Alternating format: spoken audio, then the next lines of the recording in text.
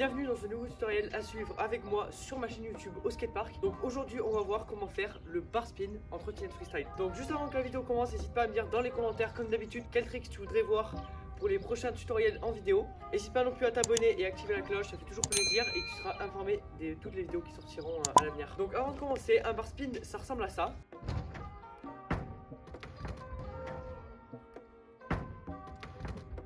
Donc pour le bar spin, la première étape c'est choisir son sens. Donc vous avez deux choix possibles. Donc soit le sens opposé à votre tie whip, donc par exemple tac tac, le bar spin est opposé.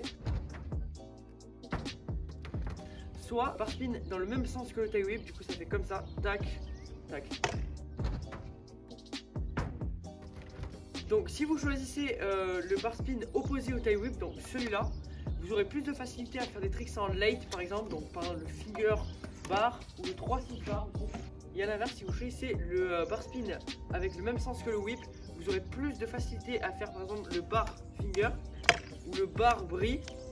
Et vous aurez beaucoup plus de maîtrise en fait sur la trotte parce que les bar spin euh, comme ça, vous en faites plus de tours et du coup vous aurez plus de maîtrise après. Donc euh, moi personnellement, j'ai choisi le côté opposé au tail whip, donc ce sens là.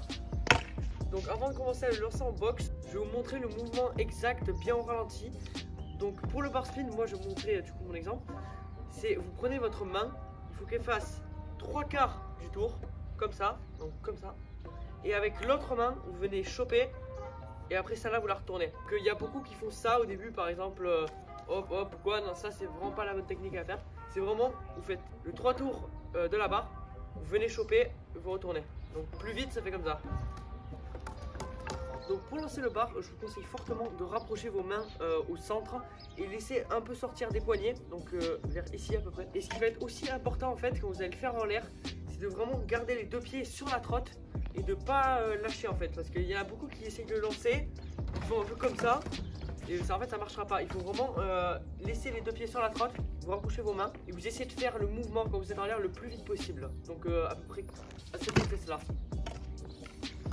Donc si vous êtes arrivé à le faire en box, je vous invite fortement à essayer en courbe, en pira, en flat, comme le tail whip, comme les autres tricks, pour essayer d'avoir le plus de possible de maîtrise sur ce trick et pour essayer après de rajouter des tricks au bar. Et euh, ça, vous verrez dans les prochains tutos.